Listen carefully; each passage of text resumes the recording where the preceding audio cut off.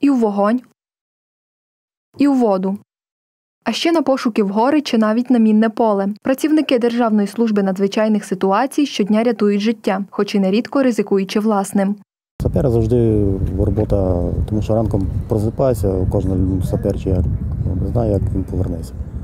Як кажуть, як зараз на війні у кожного солдата, у кожного військового, він не знає, що завтра.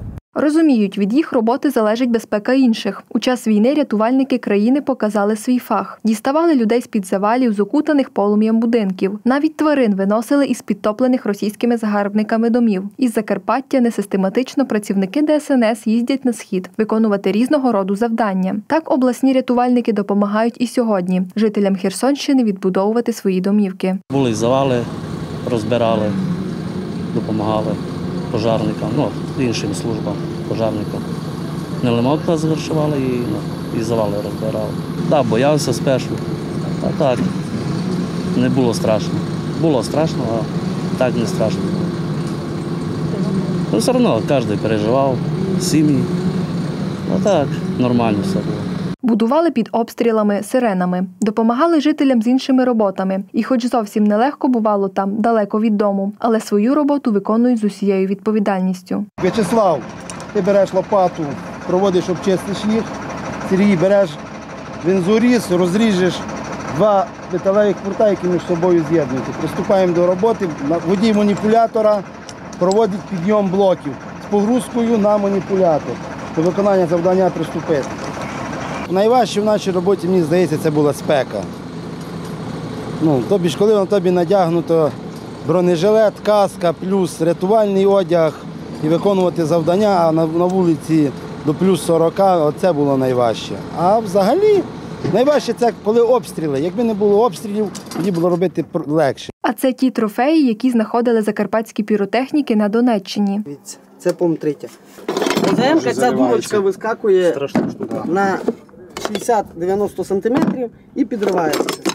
П'ять саперів із Закарпаття понад два місяці розміновували українську землю від ворожих вибухівок на Донеччині, прокладали безпечний коридор для електриків інших спецслужб, допомагали місцевому населенню. Днями повернулися додому. Ми в основному працювали на лепах, тобто ми, де електрики проводили електроенергію, тобто в тих районах, де людям щоб було е, постачати електроенергію. Ми в основному працювали в тих в тій місцевості для того, щоб люди мали електроенергію. І, і ми там ходили для того, щоб електрик міг пройтися тією територією і поставити натяжні дроти, щоб була електрика у мешканців, які залишилися на цій території. Михайло Цап за освітою адвокат. До команди рятувальників Закарпаття долучився у 2014 році, коли ворог вперше зазіхнув на українські землі. Тоді пройшов відповідне навчання і приступив до роботи. Поїхати на схід зголосився одним із перших. Розказує, як це працювати в складі рятувальників. Якщо у адвоката там є,